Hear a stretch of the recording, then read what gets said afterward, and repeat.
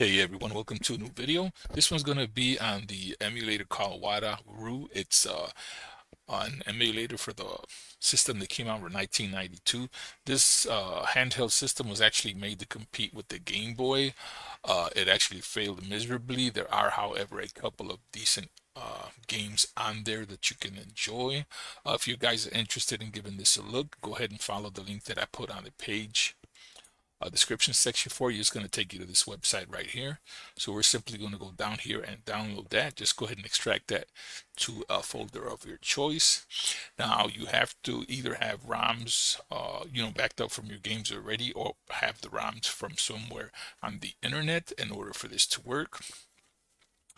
Uh, so if you're interested, once again, go ahead and get that into the folder. And obviously you'd have to find your own ROMs or, you know, make your own. Uh, so here we go. Let's go ahead and get this started. So just jump into the folder that has the emulator extracted to it. We're going to go ahead and launch that. This one is super easy to set up. Once you have your uh, ROMs, just go ahead and put them in a separate folder inside the uh, main directory where the emulator is at. As you can see, I have a few here let's go ahead and launch it. So we're going to launch this uh, application file right here. And then I'm going to show you kind of how to play around with the, the settings to get it to look the best on your system. This is able to run with the uh, Reshade program. So if you want to use Reshade and make it look a lot smoother with the scan lines, you can go ahead and do that. Just go ahead and look at the video I've done before on how to set up the Reshade. So once you launch it, you're going to get this small window here. I'm going to show you the quick options here that you can go ahead and do. Obviously, to load the game, you're going to go ahead and click on open and, you know, just load any of the games. Uh, Galaxy Fighter is a pretty, you know, decent one. So let's go ahead and launch that one. And as you can see, it's going to launch it in a small window because I have the window size set to default right here. You can change the sizes by clicking on here and so forth that you can have the large. So what I'm going to do for the most part is leave it in this sized window. I'm going to show you how to make it full screen in a second. Uh, once you have that, uh, you can go ahead and uh, set up your joystick. So you're going to go to input or just click on the F2 key. It's going to take you here. If your joystick is compatible, it will automatically set up the joystick for you. So if you see settings like this on there, it is more than likely already set up for you. If it is not, you can go ahead and click rescan or just go ahead and uh, you know you can click redefine to remap the buttons. All right so we can go ahead and close that. And then we have uh, filters here aspect ratio. If you pick square pixels it will look like it is now. You can also hit uh, stretch to fit. If you maximize by hitting uh, alt and control you will see the window pop up like this now, for me, the best way to get it to, you know, looking really nice would be to go in here to your options. You're going to go aspect ratio. Once again, set that to stretch to fit. You can also leave it on square pixels and hit control enter and you're going to get the window kind of like this. For some reason, the borders are yellow, which are horrible, but uh, that's how it's going to come out for you. If you want to make it even smoother than that, you can go ahead and click on filter, click uh, bilinear right there and you'll go ahead and kind of blur it up a little bit looks make it look smoother. And then the console we're going to go here it's going to by default go on here. So that'll get it working for you. Filters like I said you can click it on here.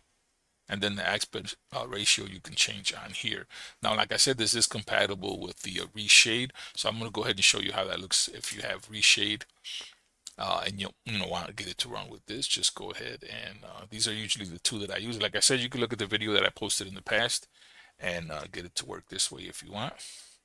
So we'll go ahead and escape out of there and I will go ahead and launch the emulator for you. Full screen. So that'll look like full screen with the uh, square pixel option here, or you can go ahead and hit aspect ratio and go ahead and stretch to fit and it will look like this. Now just go ahead and run it here really quick.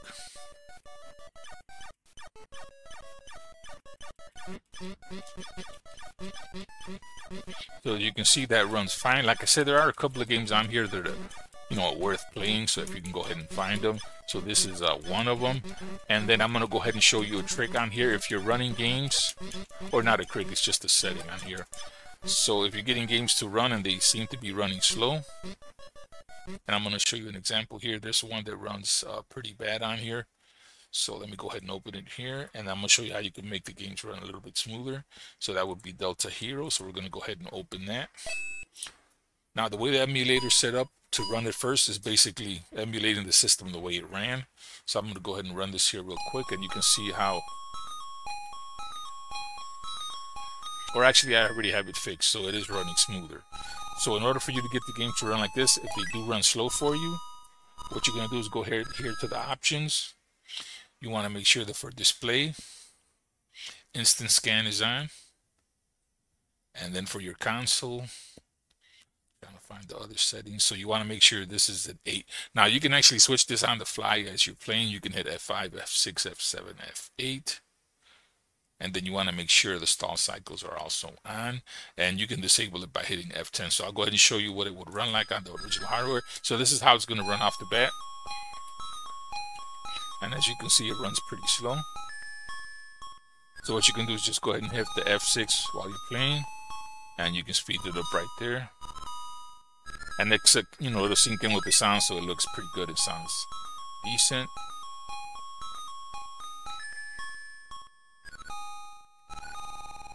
so a lot of the games that were on here like I said this was meant to uh, compete with the Game Boy so a lot of the games if you find them they're basically going to be kind of clones of the uh, you know, the original uh, Game Boy.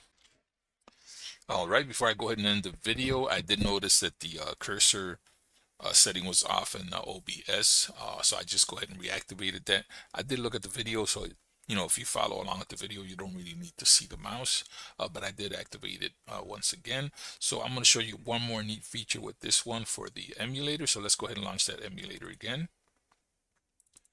And I'm going to launch uh, one of the games I just had up open earlier. So let's go ahead and launch Delta Hero.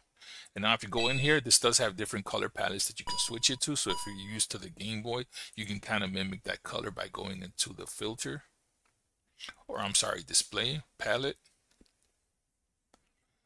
and these are the uh, you know presets for the uh, the color scheme so you can go ahead and you know choose between them that's the uh, goldenrod one I'm going to go through all of them here. Maroon Misery.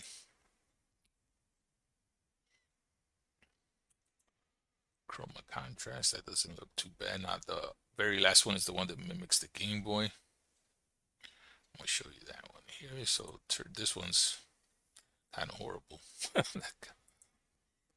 and then the very last one, this one here will kind of mimic, like I said, the Game Boy. So we'll go on there, and we'll launch it, and you can take a quick look here how that would look like.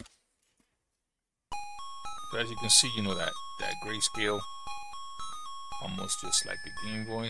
So that's another, you know, other features that you can go ahead and, and switch on there to make it more, uh, you know, compatible to what you want it to look like. And with that said, that is the end of the video. Uh, if you guys have not subscribed, please do so. And uh, we will see you guys on the next video. Have a good one.